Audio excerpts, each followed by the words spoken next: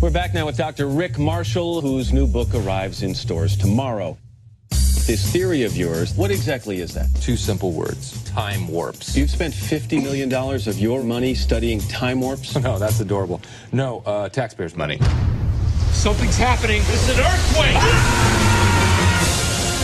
Did we go back in time? Yes, and space.